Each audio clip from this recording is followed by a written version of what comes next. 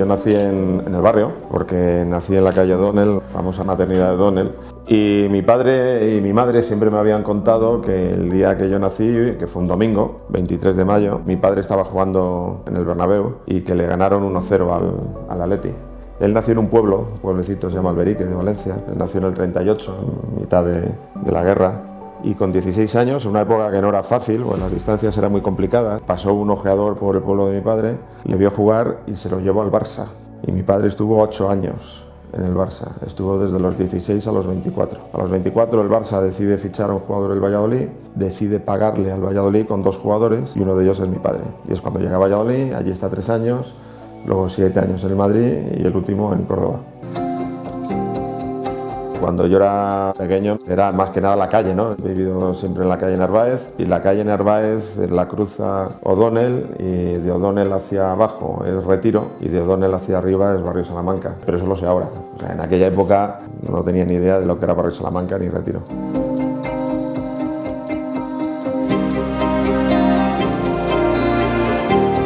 Benzema era un auténtico artista. Es el segundo máximo goleador de la historia del club después de, Cristiano. ¿Y la asistencia sí, pues, no sé, pero, pero, una, pero una barbaridad. La mitad de los goles de Cristiano se los daba a Benzema. Salgo y era Zabazar, el delantero centro. que me venía a regalar una Biblia. y cuando me va a regalar la Biblia le digo, mira, prefiero que no me regales la Biblia y que no me pegues codazos. tengamos el partido en palordos. Aquí es el edificio. Este, ese es el portal, sí. Pues eh, esta esquina es casi el, meollo de, toda mi infancia y mi juventud hasta que me casé. Eh, en este edificio era donde vivía con mis padres. Eh, por esta calle al final está el bar de mis padres, el Retiro. En esta primera boca calle a la izquierda está, estaba el colegio, a una, el colegio donde estaba y yendo por, por esta calle estaban los cuatro bares de los que os he hablado, donde conocí a mi mujer y donde, donde estábamos bebiendo de vez en cuando. Y, el, y el colegio al lado tenía también el billar. Entonces era todo muy, muy cercano. Entonces, yo estuve viviendo hasta los 26 años allí, en, en Narváez 38. Cuando me caso me voy tres años a Príncipe Vergara, esquina con Maldonado, y a los tres años vuelvo y ahora vivo en la calle Alcalá, a tres manzanas de donde vivía cuando era pequeño.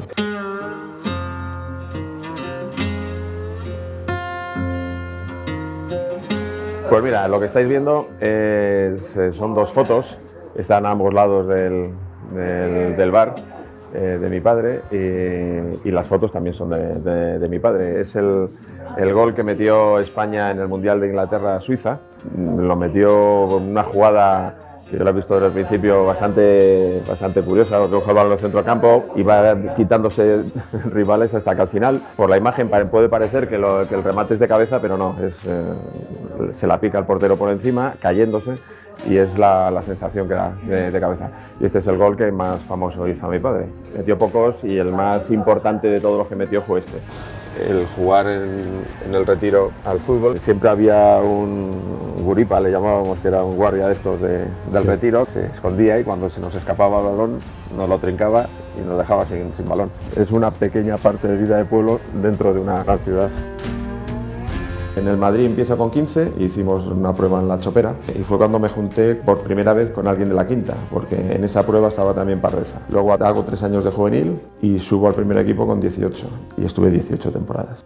Mi primer año en el infantil sigo jugando delantero y en mi progresión en, los juveniles empiezan a, hacerme jugar en el centrocampo, en la posición antigua de libre y acabo subiendo al primer equipo en el centrocampo.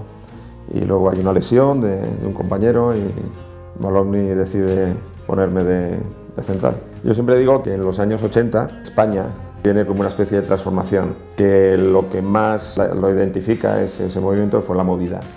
Y la movida, que, es, que si hablamos de movida todo el mundo se va a la música, hubo movida en el mundo del arte, hubo movida en el mundo de la política, con la entrada del PSOE, y en el deporte fue la quinta al buitre, lo que un poco significó el cambio de ciclo, de régimen. Y entonces nos suben Eh, yo, Pardeza no va concentrado, yo voy a cuatro partidos y después del partido de la Real Sociedad y no haber jugado ni un minuto en ninguno de los cuatro partidos, se me acerca Alfredo y me dice, mira chico, no te puedo tener aquí sin jugar. A mí me interesa que juegues. Entonces, no os preocupéis, vais a bajar a Castilla y quien decide, quien realmente decide que la quinta del buitre se junte, es Alfredo. Los que sí que he visto jugar, de los, grandes, pues ha sido pues a Maradona y a, Messi Cristiano, ¿no? que son los que están un poquito metidos ahí arriba. Siempre encuentras a alguien que te dice, no, este fue la leche. Eh, Pelé, mi padre me decía, Pelé, Pelé era increíble. Pero mi padre me decía que Alfredo era increíble, que era lo más grande, el jugador más total que, que le había conocido. Pero personaje, personaje, lo que incluye persona y jugador, personaje como Alfredo, no lo ha habido nunca. Nunca, porque ya me he encargado yo de preguntar a gente que conoció a Alfredo, que conoció a, Pelé, que conoció a Cruz, que bueno, y todos los que conocieron a varios, todos coinciden con que el personaje más total, más increíble, más grande que ha tenido el mundo del fútbol ha sido Alfredo Estefano. La suerte hay que trabajarlo también un poco. Pero si he tenido esos momentos de fortuna, uno de ellos fue coincidir con Alfredo. La relación que tiene Miguel con nosotros es una relación muy cercana. Eh, hemos compartido algún proyecto empresarial y, sobre todo muy buena relación. Y, hubo un día que le, que le dije, oye, mira Miguel, el próximo día que hagas un concierto, pero además me acuerdo perfectamente que le dije, tiene que ser en las ventas, ¿eh? o sea, por debajo de eso nada, tiene que ser en las ventas.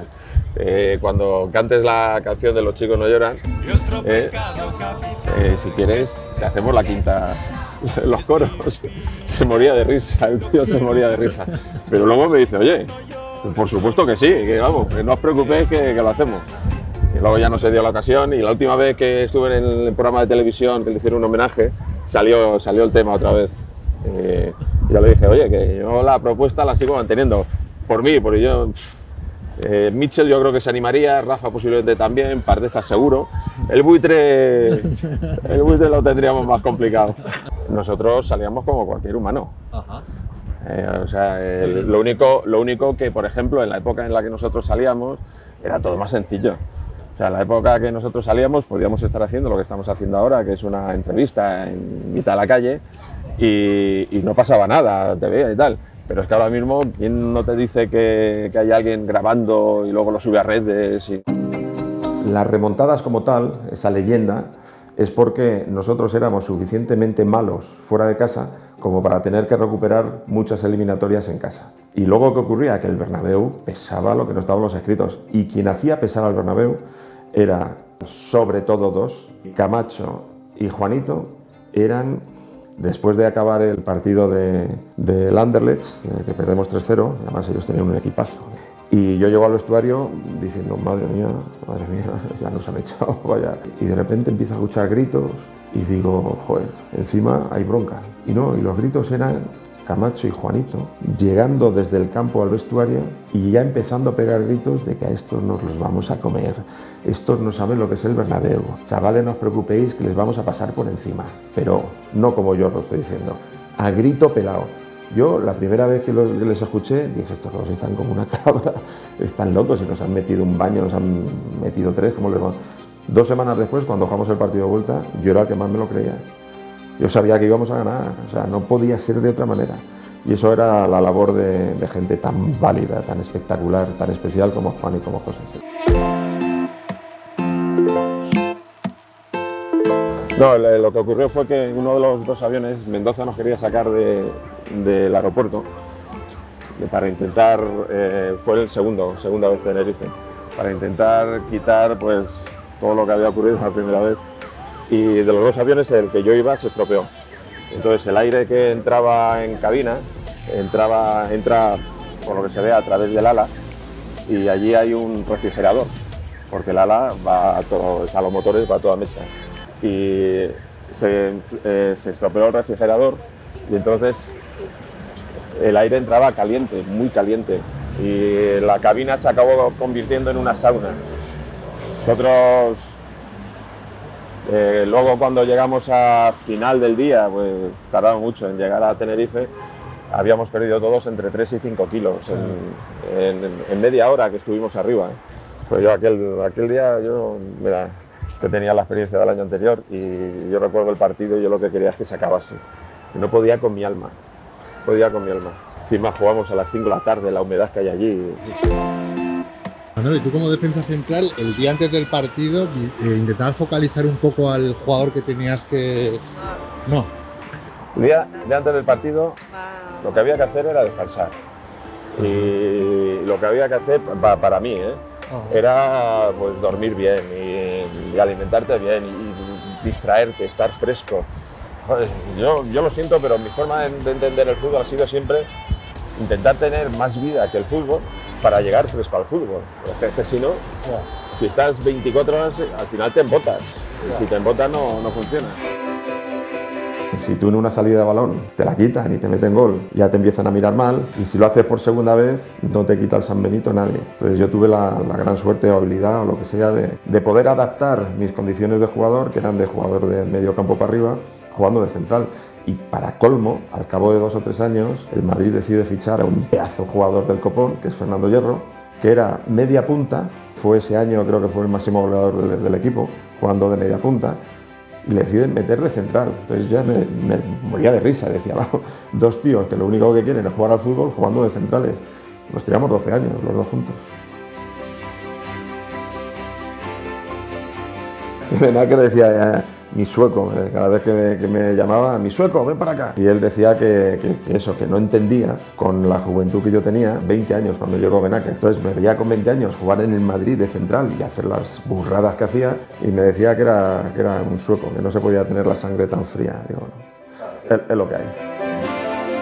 Dos de mis entrenadores de los que más aprendí y que me parecieron mejores entrenadores porque tenían ideas muy claras y las sabían transmitir, fueron con dos estilos de, juego radicalmente opuestos. Uno fue Jorge. Jorge era el placer por el talento y el otro era Fabio, el Capello, Capello era un entrenador con un corte más italiano, con otro tipo de relación propuesta en el vestuario. Los dos me parecieron entrenadores top. En cuanto a, a tema deportivo, eh, me gusta hacer varias actividades dentro del, de- del fútbol. ¿no? El- hago también junto con Pato Clavet, que, que estuvo con- eh, colaborando conmigo, a- alguna cosita de tenis, pero básicamente todo fútbol. Y pues, eh, tengo el club, organizo torneos, eh, a- doy charlas, eso lo hice un contrato que tuve con la marca Ford durante un tiempo y dábamos, dábamos charlas en, en colegios, charlas de, de valores y tal, Nada, todo muy, muy entretenido. Yo decido desde, desde pequeño no ser entrenador porque la vida de entrenador no es fácil y mi padre eh, pues, eh, lo fue mu- mucho tiempo. Alcalá. Yo creo que es la calle más larga de Madrid. Estás presidiendo el club de Perison. Sí. Cuéntanos un poco esa aventura. No, es una aventura totalmente vocacional. O sea.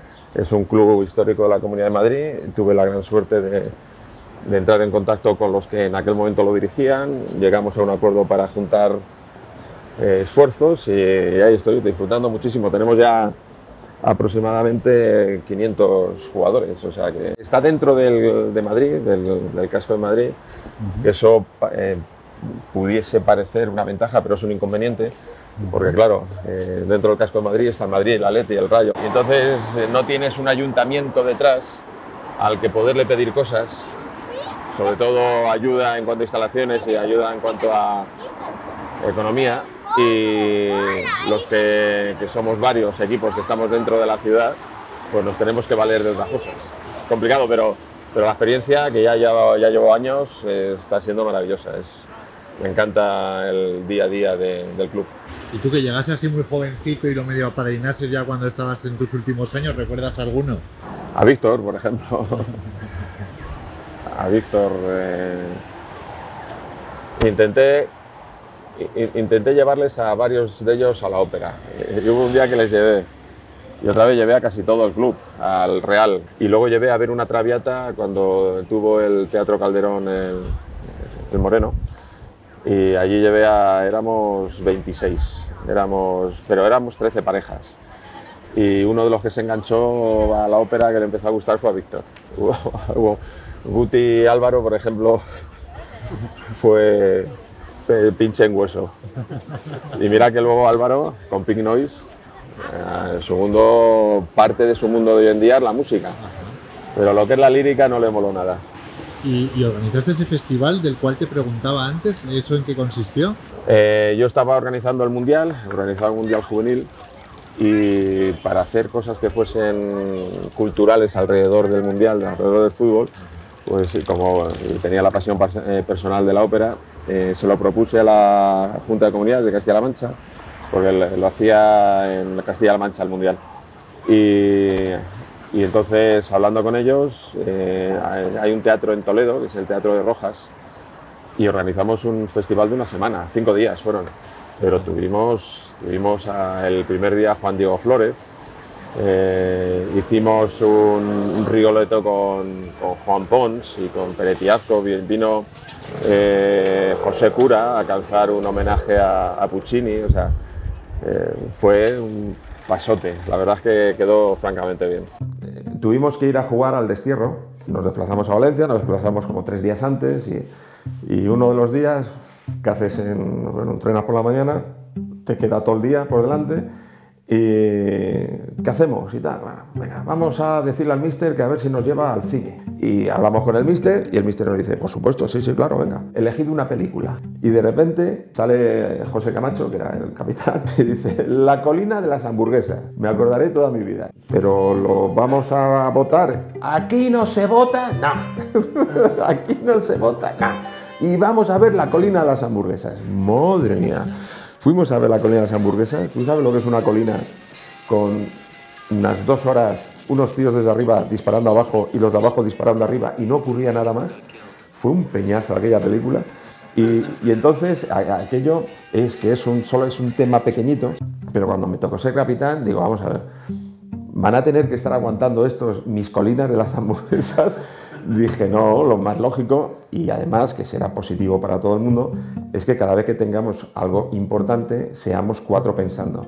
Hay uno que por antigüedad o por lo que sea es el capitán, el, capitán de plantilla, el que lleva el brazalete. Pero yo he tenido gente conmigo que ha ejercido la capitanía tanto más que yo. Y eso era lo bueno. Siempre había cuatro tíos y siempre los cuatro más bueno, los cuatro más veteranos, que siempre además con una posición en común ejercían mucha fuerza dentro del vestuario. Eso, dejárselo a solo uno, pues si tienes a José Camacho, pues a lo mejor lo puedes conseguir, pero, pero bueno, la colina de las hamburguesas convirtió la capitanía en cuatro. Y yo pienso que el segundo de mi generación más importante fue Van Basten. Primero Maradona, segundo Van Basten, sí. ¿Y pelis así favoritas? Padrino, la trilogía. Eso es buenísimo. Eh, no, no creo que haya, igual que no creo que haya habido eh, ninguna expresión de fútbol más grande que Maradona en el Mundial de México, eh, tampoco creo que, haya mayor expresión de cine que, la trilogía del Padrino. El día de la séptima me dio la sensación de que ya había hecho todo lo que tenía que hacer. Lo que sí que era curioso es que eh, 32 años después, y yo teniendo 32 años, habiendo ganado mi padre la anterior, la sexta, es, que es como una especie de los astros que se... Me da por pensar, ¿no? Porque si tú intentas que esto ocurra, te dicen, pero ¿cómo va a ocurrir todo eso? ¿Pero cómo va a fichar tu padre por el Madrid? Pero ¿cómo va, a ganar la sexta? ¿Cómo vas a ganar tú 32 años después la séptima? Una casualidad, una casualidad de la que los dos hemos estado muy contentos de, haber podido ser protagonistas. De los días más importantes, lo comparan, sin llegar a compararlo del todo, al nacimiento de un hijo, a, su boda, o de su segunda boda, o de su tercera boda. ¿Te gustaría ser un día presidente del Real Madrid? Pues mira, eh, no me lo he planteado nunca. Eh, es, una, es una utopía tan, tan complicada que, que no, no me lo he planteado. Eh, ahora mismo tenemos un presidente que lo está haciendo muy bien, el club va, va fenomenal, pues lo que hay que hacer es disfrutar. Pero tampoco te cierras entonces a ello. No sé lo que haré mañana, no sé lo que hice ayer, con menos, con más motivos no sé lo que voy a hacer mañana.